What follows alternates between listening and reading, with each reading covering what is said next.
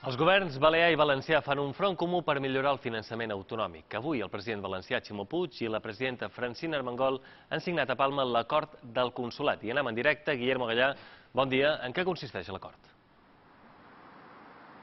Hola, bon dia. Aquest acord del Consolat de Mar és una declaració que té 11 punts, 6 dels quals eh, són sobre la reforma del sistema de finançament autonòmic. Una reforma, segons eh, es diu en aquest acord, que s'ha de fer per trencar l'estatu quo de l'actual sistema que, diu eh, aquest, aquest acord, aquesta declaració, perjudica tant la comunitat valenciana com les Illes Balears. Es fa un esment a fer feina conjuntament per aconseguir un nou sistema de finançament que garanteixi, segons diu, un finançament igual dels serveis públics essencials que actualment estan perjudicant a totes dues comunitats. També un nou sistema que doni més eh, autonomia fiscal, és a dir, que permeti millorar la recaptació d'impostos per part de les dues comunitats autònomes. La declaració del Consolat de Mar també insta els dos governs a fer esforços per aconseguir derogar eh, els permisos per prospeccions petrolieres a, a la Mediterrània, per eh, la reciprocitat de la recepció de la televisió pública tant de les Illes Balears com de la Comunitat Valenciana, és a dir, que IB3 pugui eh, rebre a la Comunitat Valenciana i la futura televisió pública valenciana a les Illes Balears i també unir esforços per aconseguir el futur corredor ferroviari mediterrani.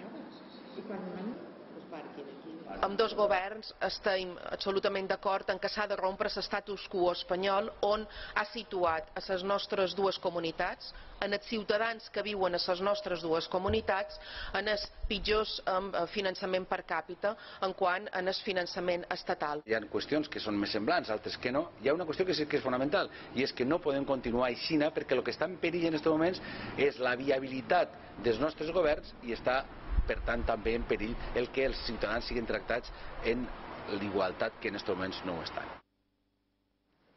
Ximo Puig i Francina Armengol, aquí hem vist eh, visitant la seu de l'edifici gòtic de la llotja de Palma, han mostrat també total sintonia pel que fa a les negociacions per formar un govern d'esquerres a Madrid. Francina Armengol ha dit que és un moment històric i que el secretari general dels socialistes, Pedro Sánchez, ha de tenir la màxima llibertat per negociar aquests eh, acords amb discreció i amb generositat.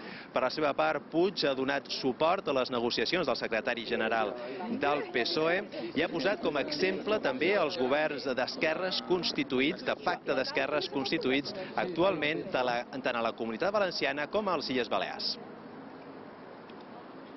Aquests ciutadans esperen moltíssim i que necessiten moltíssim, necessiten de governs que deixin d'una banda els retalls, l'austeritat i que retornen drets, que retornen llibertat, que millorem la democràcia amb una defensa ultrança de l'interès general. ¿no? Necesita un gobierno aliado en España que sobre todo deje de orillarnos, deje de ningunearnos, deje de menospreciarnos. Nosotros necesitamos un gobierno aliado de los valencianos y de los ciudadanos de las Islas Baleares. Eso creo que es fundamental.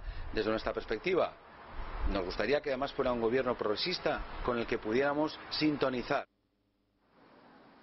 Aquesta cimera entre els governs balear i valencià també ha acordat la creació d'una comissió bilateral que vagi analitzant periòdicament els avenços aconseguits tant en finançament com en medi ambient, turisme i infraestructura. Segons s'ha anunciat aquí, dintre de sis mesos es celebrarà una, una altra cimera, una nova cimera, on es retran comptes dels avenços aconseguits en tots aquests àmbits.